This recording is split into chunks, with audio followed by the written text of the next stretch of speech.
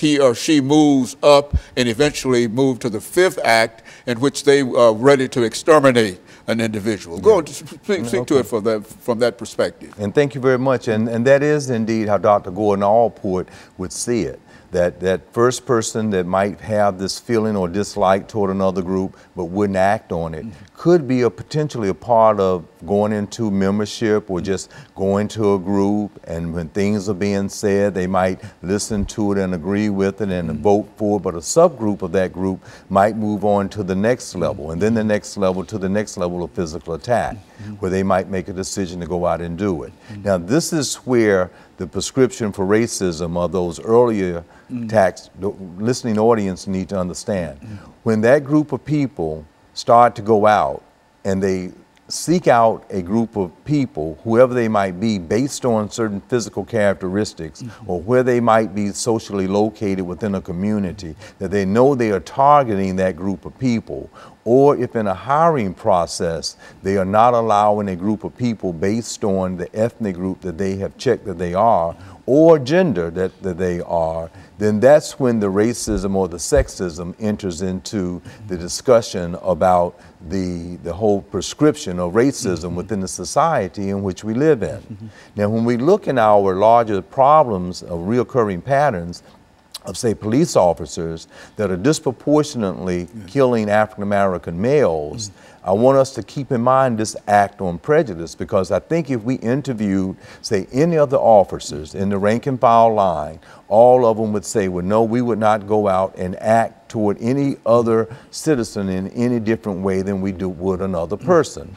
But out of that group, you can have someone that in their private life would avoid Mm-hmm. and then in their private life would do some discriminatory mm-hmm. acts. Mm-hmm. And this becomes a part of their subconscious, looking at the social psychology of it. Mm-hmm. And when they are out in the force, and then when they are out to stop someone, that individual may not be doing anything that is being degrading or not following the rules. Mm-hmm. Or even if they were not following the rules mm-hmm. and you have to shoot them, do you have to shoot to kill, or could you shoot in the leg and they fall down and then they couldn't do anything? But is there some something in that physical attack that emerges from how some of the preceding acts of prejudice may have been in the environment as you grew up that might cause you then to shoot to kill, mm-hmm. or after you're down to continue to shoot 15 additional times. Mm-hmm. And, and, and so, in a real sense, if you've got a, a group, uh, hypothetically, yes. of uh, 20 people, yes. and as they move from one stage yes. to another,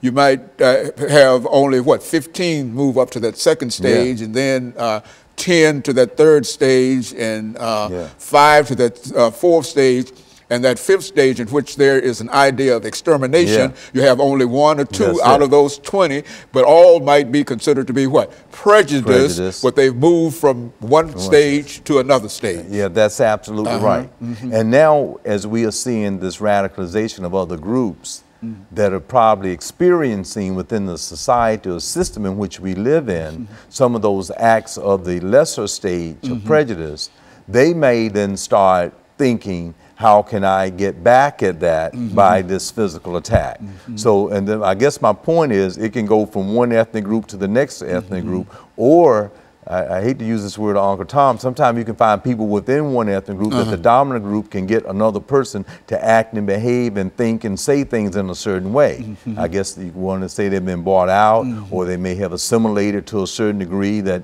they may not try to understand that particular ethnic group, although they belong to that ethnic group themselves. Mm-hmm. However, going back to this issue of the problem that we are seeing in our society today, many people that might be the victims of it are now turning that into another type of act on prejudice mm-hmm. and physically attacking. Mm-hmm. So I hate to date it, but as we have this conversation, there have been many types of attacks that have occurred in America and mm-hmm. throughout the other country. And some people in their minds may be acting this thing out in a more physical or to the point of exterminating mm-hmm. another group of people or the idea that another, even entire society, they could, regardless of who is in the building, mm-hmm. if they are just called American, they want to get rid of them. Mm-hmm. So that's an extermination, an act on prejudice mm-hmm. as well.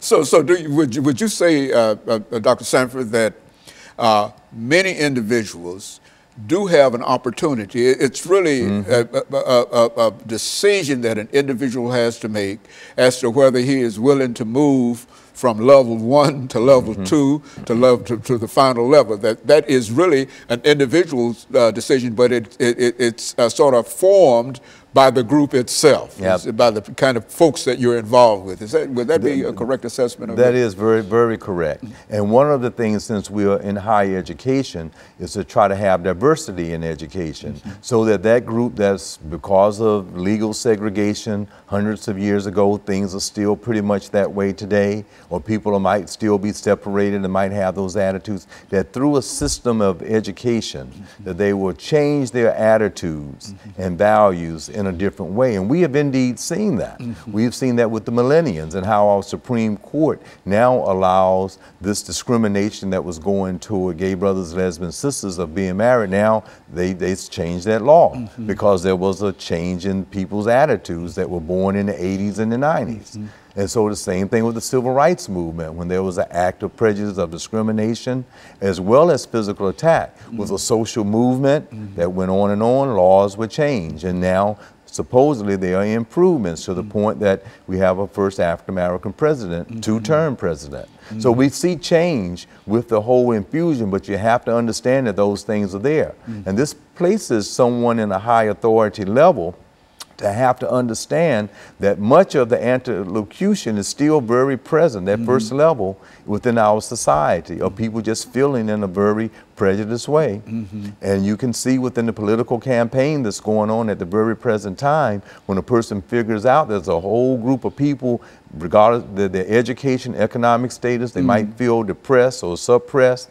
and they might start thinking in a way, and then they go out and they meet and they rah rah about it. So you can see some of the people with their flags up and everything that ready to, to move to the next. That's right section. That's I mean, it. next uh, step of, yes. it, and and so it's a, a thing of progression, you it know, is. and and and if a fellow, if a person can uh, exclude himself or get away yes. from that kind of thing, he won't have an opportunity to progress. But as yes. long as he is involved in the middle of it, he goes up with the rest of the group. That's is right. that what we're saying? That's what we're saying, and we think we have a better America uh. with more diversity because we have strength in numbers, strength mm-hmm. in everybody being along and mm-hmm. getting along, and we have the institution of religion that's supposed to help everybody mm-hmm. have this type of ethic about mm-hmm. ourselves. But the question becomes, as um, Max Weber would say in his classic book, the Protestant ethic mm-hmm. in the spirit of capitalism. Mm-hmm. How does capitalism prevent us from being able to get along?